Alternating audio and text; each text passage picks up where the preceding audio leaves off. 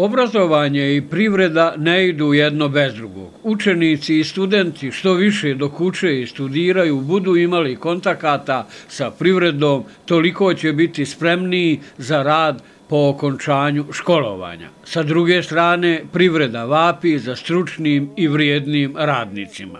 Studenti Mašinskog fakulteta Univerziteta Zenica nedavno su posjetili metaloprerađivačku kompaniju u indeksu Gračanici kako bi se upoznali sa najsavremenijim tehnologijama u oblasti prerade metala.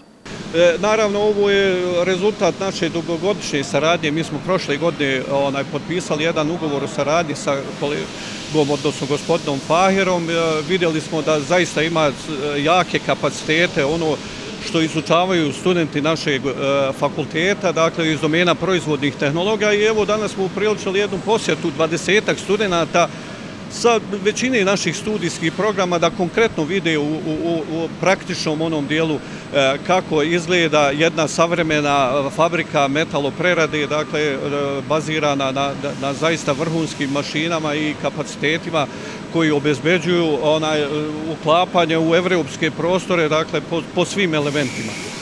Upoznati organizaciju i tehnologiju svjetskog nivoa je za naše studente od izuzetne važnosti, ističu profesori sa Mašinskog fakulteta Univerziteta Zenica.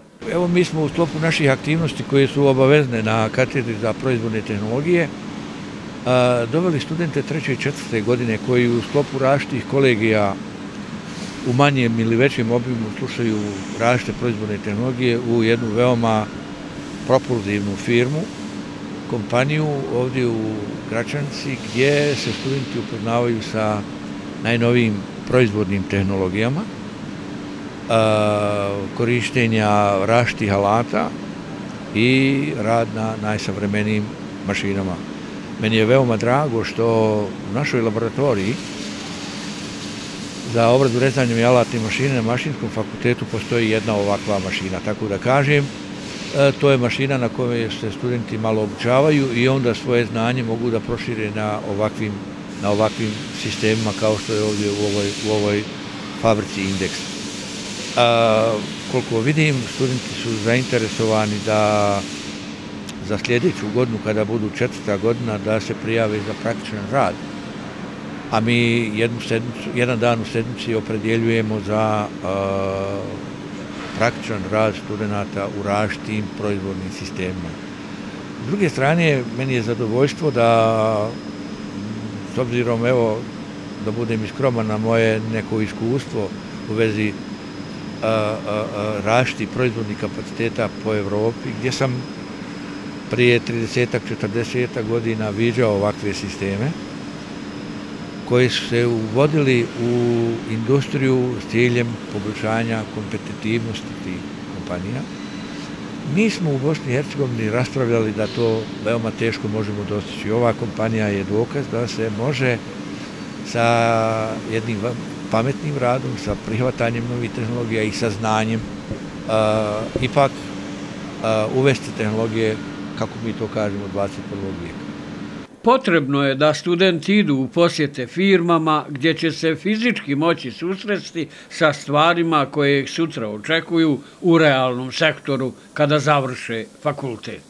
I smatram da je od izuzetne važnosti da studenti idu u posjete gdje će se fizički moći susresti sa stvarima koji sutra očekuju u realnom sektoru i koji će raditi nakon završenog fakulteta, ako Bog da, Budući da na fakultet većinom radimo na papirima zadatke, vidimo prezentacije, imamo neke od mašina na našem fakultetu i posjećujemo laboratorije, ali opet drugačije kad od radnika koji su na mjestima gdje ćemo mi biti sutra ako Bog da, čujemo njihova iskustva i vidimo čime se u stvari oni bavi. Reforma školstva je nužnost kako bi studenti i učenici u toku obrazovanja imali što više prakse, a poslodavci dobili koliko toliko pripremljene radnike za rad u proizvodnom sektoru, smatraju privrednici. Da se napravi fuzija, što veća fuzija, kontakt, sa što da dođe do kontakta više privrede i školstva.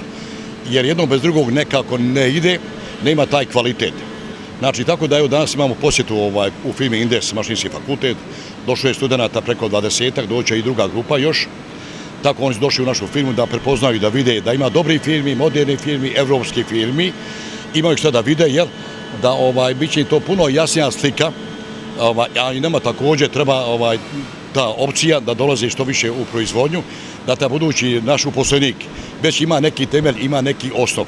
Znači, ta će uposlenik budući da e, dobijete kako jednu spoznaju ovdje, iako su na, na kratko vrijeme, nažalost, bi trebalo da dođe do reforme školstva, da se što više provodi vremena e, školstvo, studenti, učenici, bilo ko iz sfere školstva u privredi, jer tu se e, stiče realno zdanje.